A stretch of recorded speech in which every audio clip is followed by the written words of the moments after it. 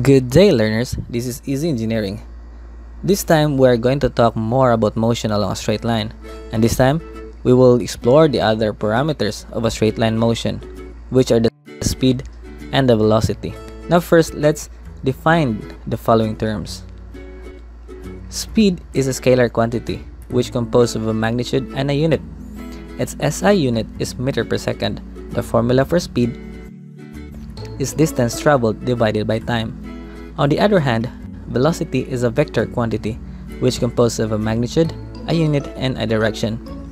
Its SI unit is the same as with the speed, which is meter per second. This is the same as speed but with direction.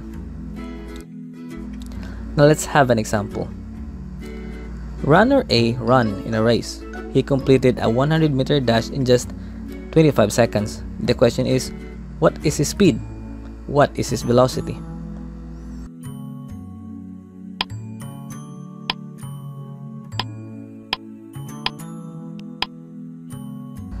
The answer will be his speed is 100 meters divided by 25 seconds which is equal to 4 meters per second and his velocity is the same with speed so that gives us 4 meters per second going to the right. This means that runner A covers 4 meters in 1 second from the starting point up to the finish line. But in reality, runner A might run fast at the starting portion and then slows down a little bit and run fast again. To settle this dilemma, here we introduce another terminology that is average speed and average velocity. Average speed is just the total distance traveled divided by the total time, whereas the average velocity is just the displacement divided by the total time. Let us do by having this as an example. Suppose runner A saw a barricade along his way. So, he decided to take another path, but the path he takes measures 200 meters and took him 80 seconds. Hence, to compute for his average speed, we have 200 meters divided by 80 seconds that is equal to 2.5 meters per second.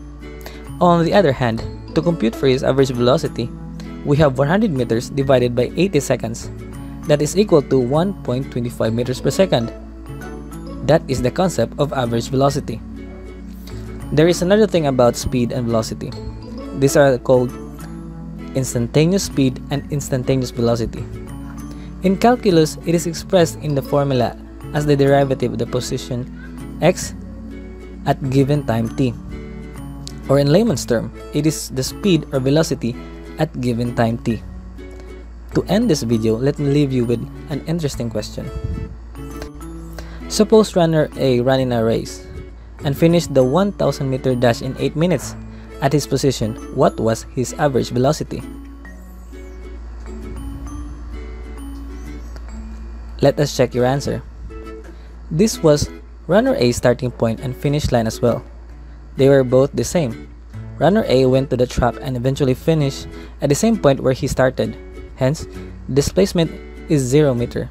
To sum up, the average velocity of runner A in the race is 0 meter divided by 8 minutes, that is 0 meters per second. I hope you got it right. That is all for now. I hope you learned something today. Once again, this is Easy Engineering.